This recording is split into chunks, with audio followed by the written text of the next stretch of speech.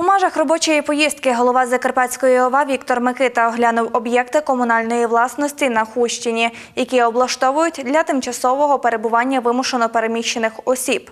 Зокрема, в Горінчівській громаді завершують роботи у приміщенні колишньої дільничної лікарні. Тут відремонтували дах, житлові площі, харчоблок, душові та убиральні, провели опалення та воду. Загалом в осередку зможемо розмістити близько 60 осіб, зазначив Віктор Микита. За його словами, у Білківській громаді для ВПО переобладнали один із поверхів комунальної будівлі, провели опалення та воду, зробили ремонт житлових приміщень, коридорів, харчоблоку, душових і убиралень. На цій локації планують поселити близько 70 людей.